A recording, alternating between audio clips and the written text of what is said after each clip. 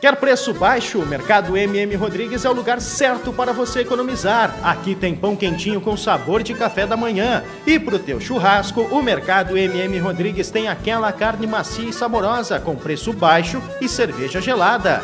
Vem agora conhecer nossas ofertas. Mercado MM Rodrigues, em frente ao posto Ipiranga.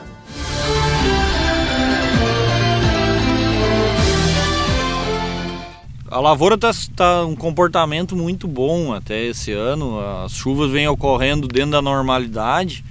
É, teve algum problema de excesso hídrico em algumas, algumas semanas com, com bastante umas chuvas bastante fortes, mas as áreas bem drenadas aí teve, teve tudo tá, tá, tá bem controlado até a lavoura a perspectiva muito boa é, é, vem mantendo a chuva conforme tá, tá as previsões aí, tem, tem tudo para dar uma baita safra. A gente tem que, não pode parar no tempo, né?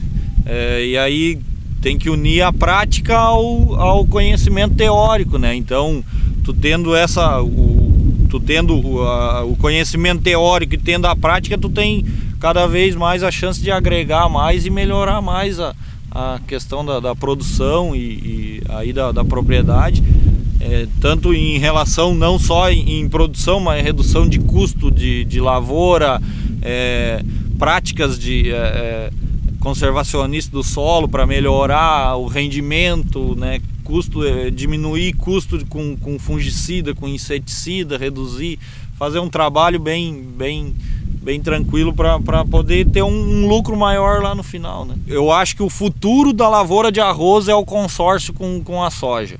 É, tanto que a gente vê áreas que, que arroz, arroz, é, o problema, esse ano mesmo a gente vê é, muitos produtores aí tendo um problema muito grande com, com a questão de, de, da, da resistência ah, as, as plantas daninhas aí, né? Então o, essa, essa rotação com soja, esse um ano arroz ou, e, e dois anos soja, um ano soja, um ano arroz, é, tu consegue quebrar um pouco o ciclo dessas, dessas plantas daninhas aí que são hoje um dos maiores problemas na lavoura de arroz, né? Então é, eu acho que só tem o produtor que faz isso só tem a ganhar.